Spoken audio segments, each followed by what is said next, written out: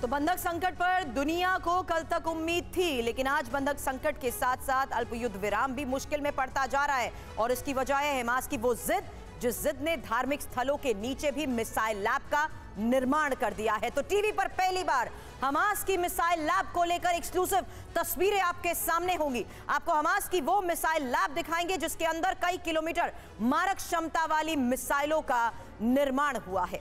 आपको हमास का वो पाताल लोक दिखाएँगे, जिसके बलबूते हमास ने इसराइल को खूब परेशान किया है। साथ ही आपको ब्यौरा देंगे हमास के आर्थिक साम्राज्य का।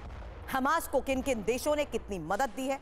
कैसे हमास की दहशत परवान चढ़ती गई? डिटेल होंगी आपके सामने, लेकिन सबसे पहले इसराइल गाजा युद्ध की बड़ी खबरें आपके सामने रखते हैं। जहाँ आईडीएफ की स्ट्राइक का नया वीडियो देखिए, क्योंकि हमास के इंटेलिजेंस ऑफ़िस पर हमले को लेकर ये तस्वीरें सामने आई हैं। और गाजा पट्टी में कई इमारतें कैसे तबाह हो गई। ये तस्वीर देखिए।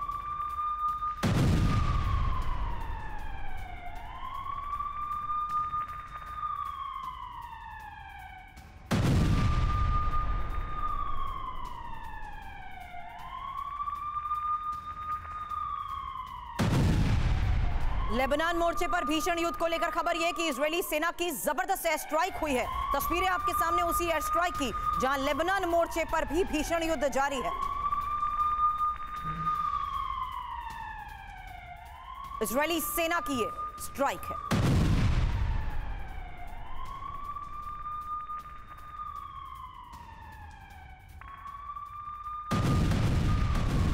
के खिलाफ बारूदी एक्शन की शुरुआत, जहाँ इजरायली हमले में टॉप लीडर के बेटे की मौत और हिजबुल्ला लीडर मोहम्मद राद का बेटा मारा गया है। आपको बता दें बेत याहुन के एक घर में राद का बेटा छिपा हुआ था। इजरायली बमबारी में पूरे इलाके को तबाह कर दिया गया।